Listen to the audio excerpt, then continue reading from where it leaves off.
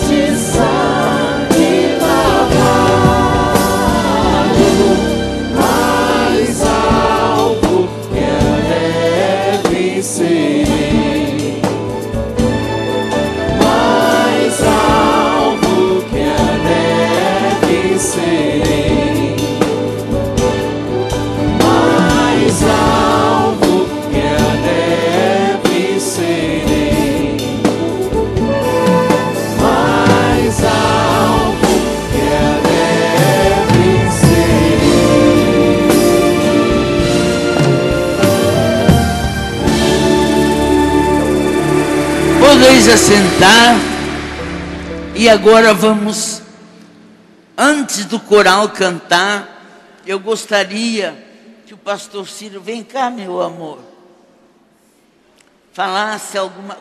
Não tem ninguém para acompanhar ele? Fala alguma coisa. A minha saudação. Eu estou com saudade da igreja. E eu vi que a igreja está bonita, está alegre, feliz. Graças a Deus. Porque Jesus está aqui nesse lugar. Está com o povo de Deus. Graças a Deus pela igreja quadrangular aqui em Limeira. Uma igreja sólida, uma igreja que é sempre vitoriosa pela graça de Deus. Que Deus abençoe os irmãos. Amém. Graças a Deus.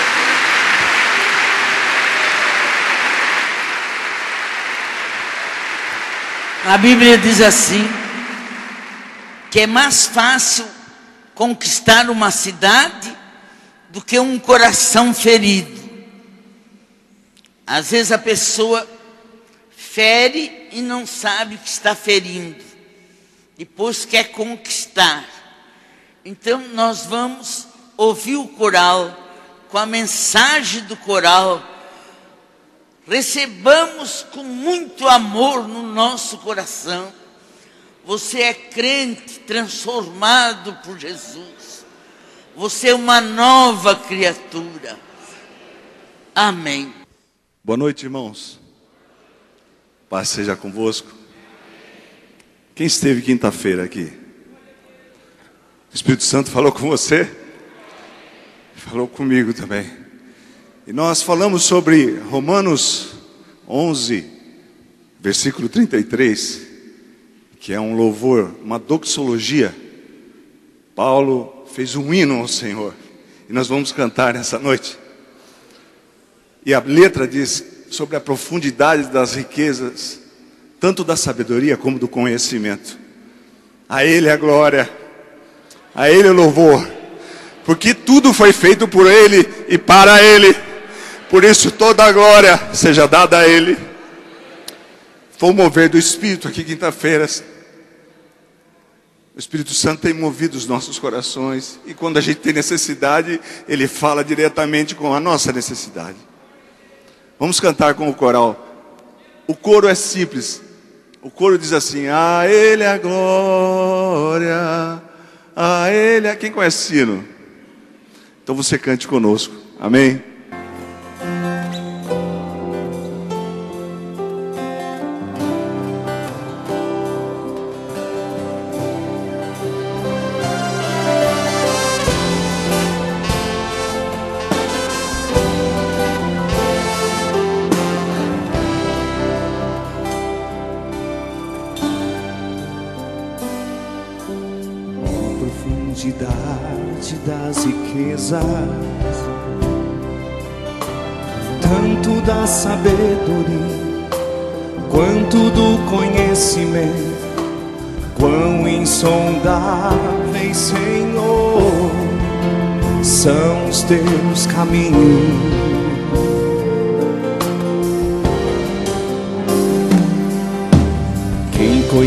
Conhece a mente desse Deus?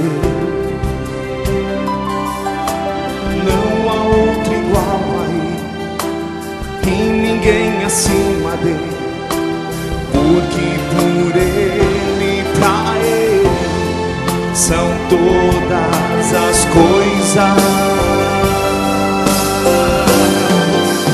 A ele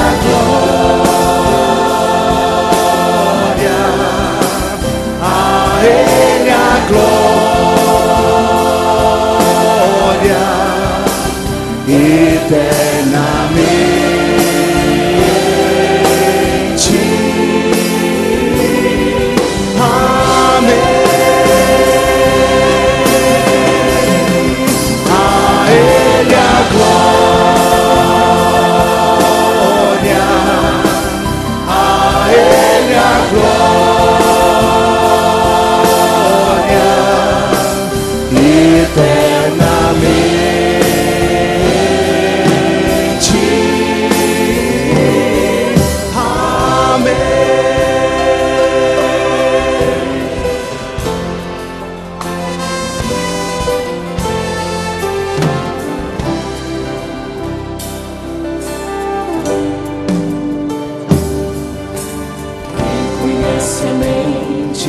Desse Deus. Não há outro igual a Ele, e ninguém acima dele, porque por Ele, pra Ele, são todas as coisas.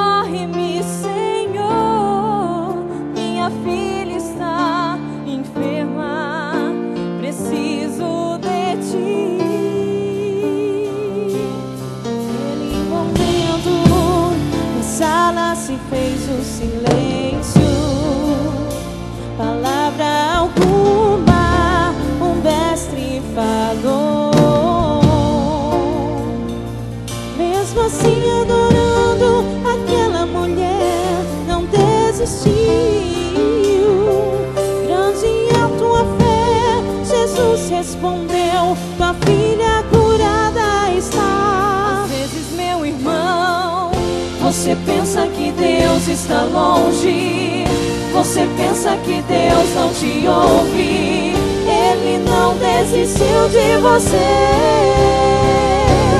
Deus trabalha no silêncio. Quando Ele não fala, Ele está trabalhando.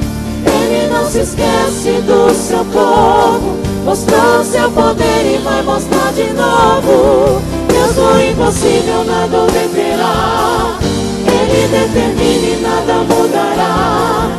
A sua forte mão está estendida, pronta e aberta pra me ajudar.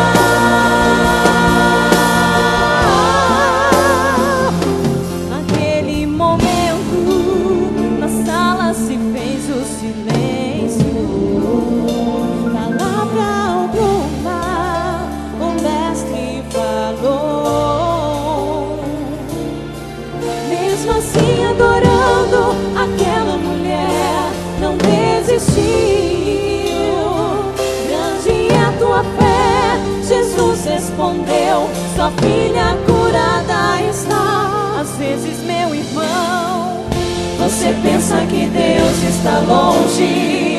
Você pensa que Deus não te ouve. Ele não desistiu de você. Deus trabalha no silêncio. Quando Ele não fala, Ele está trabalhando. Ele não se esquece do seu povo. Mostrou seu poder e vai mostrar de novo. Deus no impossível nada o deterá. Ele determina e nada mudará. A sua forte mão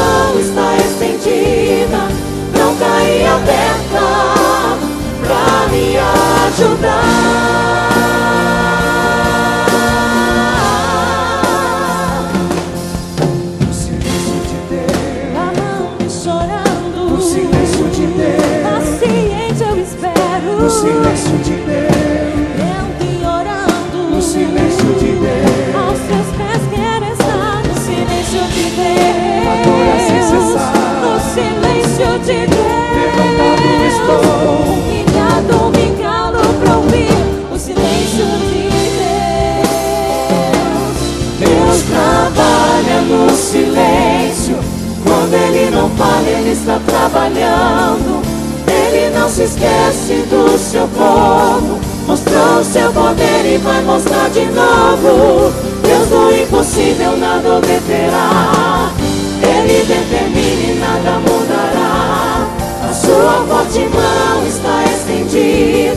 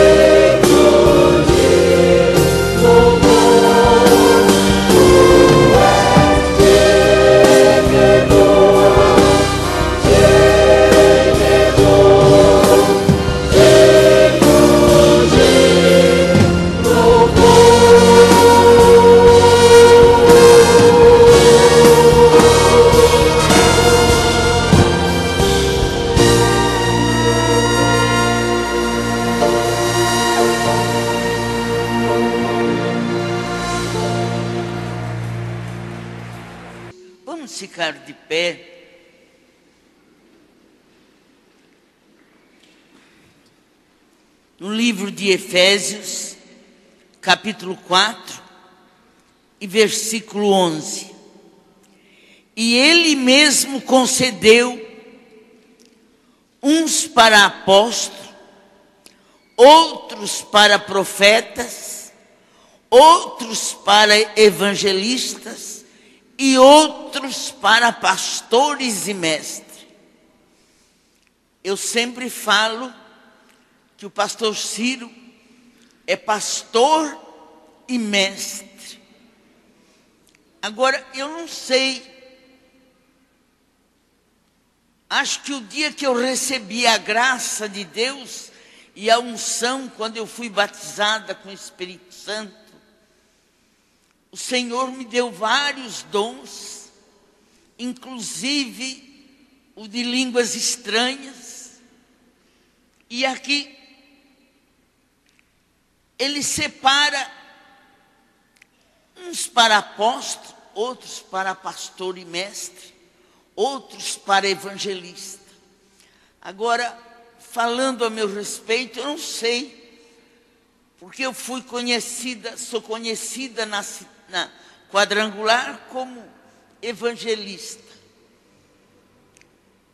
E como pastora, que sou chamada e como mestre, porque você aprendeu aqui com a palavra de Deus e eu nunca preguei falsa doutrina. A igreja conhece o que tem e valorize esse resto que ontem eu fui no médico, ele disse que eu tenho um coração de jovem, uma pressão de jovem. E teve um pastor ontem aqui que eu não pude vir, mas o Cirinho e o Ciro vieram. O pastor disse que ele não queria muito, ele queria só essa partinha aqui de cá, porque a igreja dele tem 100 pessoas e ele está não sei quantos anos com essas mesmas 100 pessoas. Irmãos, a igreja tem que crescer. Nós temos que fazer a igreja crescer para que o mundo veja o amor de Deus nas nossas vidas. Que vivemos em paz, em união, e nós nunca nos gloriamos por esse tão grande ministério. Eu disse para vocês que eu orei e vi uma fila de gente. Eu vi isso lá em Paranaguá, quando Ciro não aceitava ficar lá. Ele ligou para o conselho porque não tinha uma casa para morar, não tinha nada, nós moramos no fundo da igreja, e ele não aceitou assumir uma igreja sem ninguém. Mas eu, um dia eu fui orar bem cedo, ainda fui de camisola, porque nós morávamos no fundo da igreja, e eu vi tanta gente assim, ó, e de branco. E eu disse para ele, Ciro, vamos ficar aqui, que aquele que nos usou em Tapetininga, te usou em Tapetininga, vai, te, vai nos usar aqui. Foi quando eu desabrochei mais o meu ministério, porque fazia um mês que Jesus, que Deus levou a minha filha Raquel. Ela morreu dia 25 de janeiro e nós mudamos para Paranaguá dia 21 de fevereiro. Época de carnaval. E o pastor Ciro sofreu uma dor muito grande no dente. E nós, tarde da noite, ele com um copo de água, nós procurando para ver se achávamos um, um dentista. Aqueles bailes de carnaval por todo lado, e nós andando na rua, e ele punha água no dente. Eu não me lembro se nós achamos o, o dentista, não me lembro. Essa parte não lembro. Mas graças a Deus que ele está aqui e não tem mais dor de dente. E quando tem, já é levado no dentista. Ele mesmo concedeu uns para apóstolos, outros para profetas, outros para evangelistas, outros para pastores e mestres, com vista ao aperfeiçoamento dos santos, para o desempenho do seu serviço, para a edificação do corpo de Cristo. Podeis assentar. Ele tem levantado homens e mulheres e jovens para o serviço dele tem levantado os obreiros que nos ajudam bastante. Esta igreja tem sido vitoriosa. Não tem outra igreja na quadrangular maior que esta. Mas para chegar até aqui, não sei qual é o dom que ele nos deu mas ele tem acrescentado. Pastor Ciro fez a Catedral da Graça, que até hoje eu acho uma monstruosidade. Lutou muito. E eu lutei junto com ele um domingo, eu descarreguei um caminhão de ripa. Não tinha as pessoas para ajudarem era gente nova que converteu na Duque de Caxias. Um dia depois da escola dominical, eu plantei aqueles coqueiros com a toalha na cabeça, o sol era quente. E lançamos a mão no arado e não olhamos para trás. Como eu disse aqui no início, é mais fácil conquistar uma cidade do que um coração ferido. Desde que o Ciro ficou doente, não fui no escritório, não tenho, eu não tenho coragem de ver o escritório dele. Sem ele na cadeira. Foi uma coisa tão boa a nossa união, que ele construía, e quem sabe ainda vai construir. Eu não sei, o plano de Deus não são os nossos planos. Ele teve, ele teve entre a vida e a morte. Ele fez uma operação,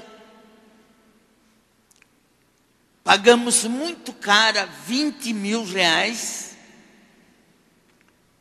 e os remédios também estão muito caros. Outrora, a igreja nos fortalecia com remédio que é muito justo, porque ele deu a vida nesse trabalho. Como pastor, quando nós chegamos aqui, ele foi muito prudente. Eu ansiosa para assumir o grupo de senhoras, ele disse: Você vai ter paciência. Eu fiquei seis meses ouvindo uma senhora dizendo que maravilha, que maravilha o grupo de senhoras. Que... Não, tinha só uma carreirinha de banco assim. Não tinha nada de grupo de senhoras. Depois ele fez, ela fez uma coisa, sem ordem do pastor Ciro, começou a arrecadar latas de conserva para fazer não sei o quê. E o Ciro trancou e disse: Você não vai fazer, não vai arrecadar, eu não te autorizei a fazer isso.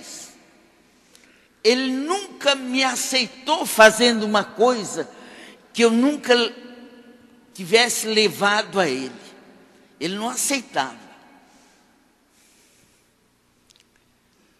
Nós combinávamos muito bem. Ele construía e eu ganhava as almas. As congregações foram sendo construídas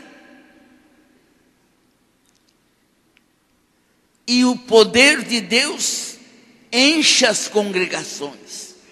É só dizer que, que é raízes da quadrangular que todo mundo vai. Vai mesmo. Porque o médico que eu fui ontem, ele disse: vocês são muito conhecidos. Vocês são, são pessoas do bem. Nós somos reconhecidos até pelos ímpios. O trabalho que nós fizemos um pouco de evangelismo, um pouco de pastor, um pouco de mestre. Que foi aqui que você aprendeu a batizar. Foi aqui que você aprendeu e mudou de vida. Foi nesse ministério que você deixou o velho homem e vive uma vida para Deus.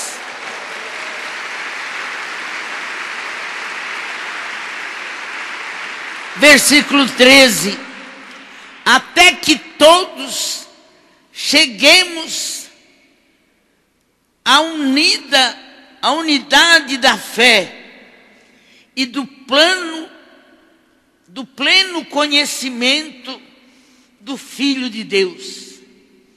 A perfeita varonilidade, a medida da estrutura, da estatura, da plenitude de Cristo, para que não mais sejamos como meninos, agitados de um lado para outro e levados ao redor por todo vento de doutrina Irmãos, eu não gosto de falar derrota. Quando nós falamos de derrota, aí acontece. Há poder em nossas palavras. Quando as pessoas ficam indignadas, porque a igreja está levantando pouco para terminarmos a Ebenezer, que eu quero estar aqui no dia da inauguração, e o pastor Ciro também, e o Cirinho também. Isso aqui é, é obra das mãos de Deus e obra das mãos do pastor Ciro. Aqui chegamos e o Espírito Santo tem trabalhado na nossa vida. Nós não temos orgulho. Esses dias eu estava pensando, eu acho que essa convenção que vai ser Itajaí é capaz que eu vá se ele tiver bom. A igreja sente falta Um congresso que nós tivemos aqui, o Mário de Oliveira falou: Ai, Osaide, como é bom te ver. Versículo 15 diz: Mas seguindo a verdade em amor, cresçamos em tudo naquele que é o cabeça, Cristo, de quem todo o corpo, bem ajustado, consolidado, pelo auxílio de todo, de toda a junta, segundo a justa cooperação de cada parte, efetua o seu próprio aumento para a santificação de si mesmo em amor. Você tem amor? Assim como os montes estão ao redor de Jerusalém, assim é o Senhor ao redor do seu povo.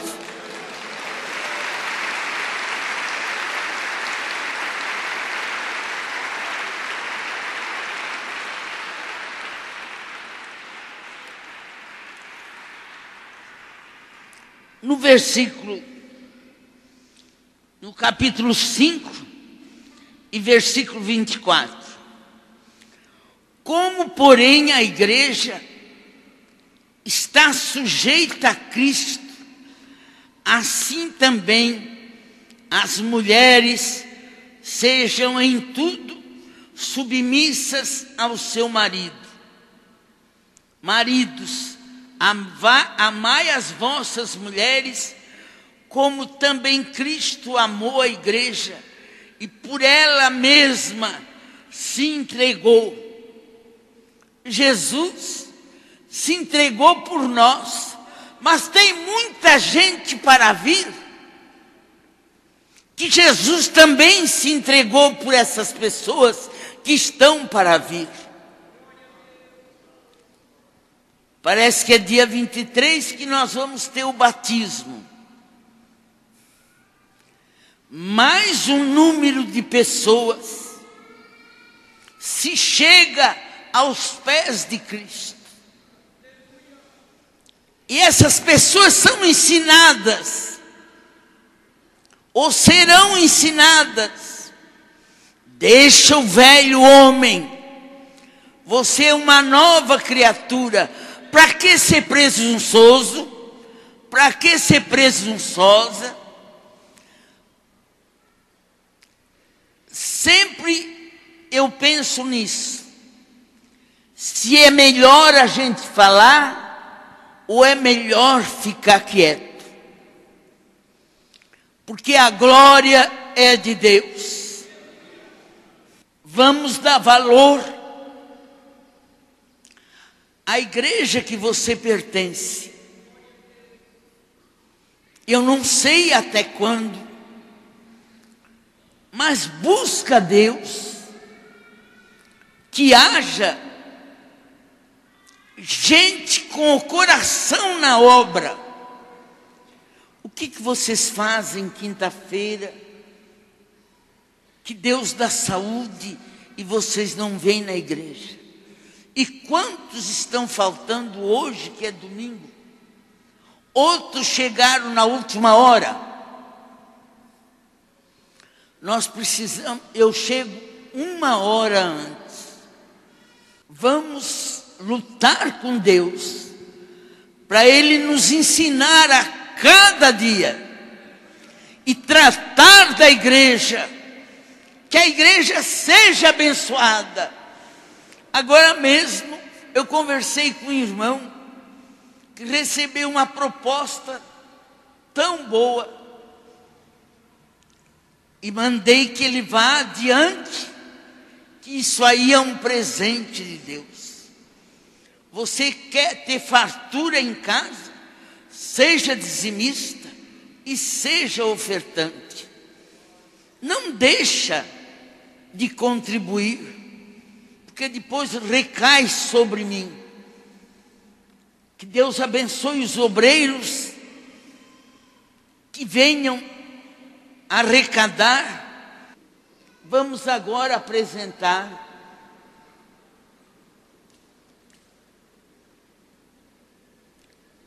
o menino Vieira.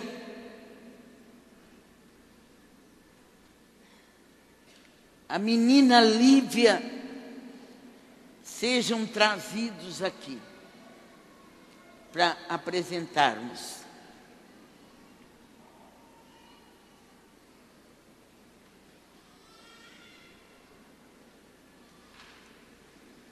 Cadê o menino?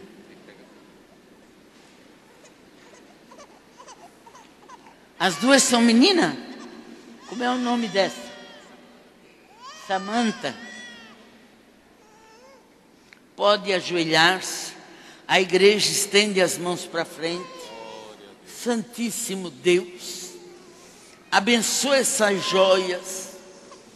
Cuida desses corpinhos.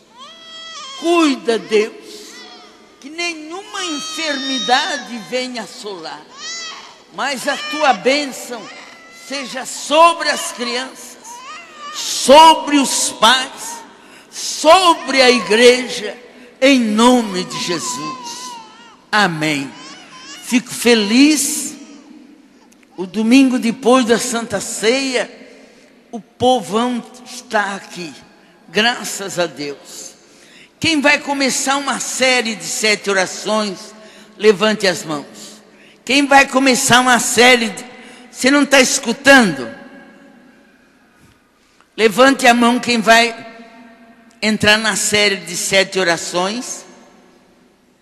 Quem vai receber a segunda, a terceira, a quarta, a quinta, a sexta e a sétima. Senhor Deus, muito obrigada. O Senhor merece toda a honra e toda a glória. Obrigado pelo Ciro Jesus, pela vida dele. Oh Deus, abençoa o Cirinho Jesus, que ele tem o mesmo ministério que Deus deu para mim. Ele tem unção de Deus. Abençoa a tua igreja, abençoa o teu povo, que a graça de nosso Senhor Jesus, o amor de Deus Pai, a comunhão consoladora do Espírito Santo, seja com todos. Amém. Eu amo vocês. Eu amo a igreja. Amanhã, reunião de mulheres. Venha amanhã na reunião de mulheres e Deus vai te dar uma bênção. Aleluia.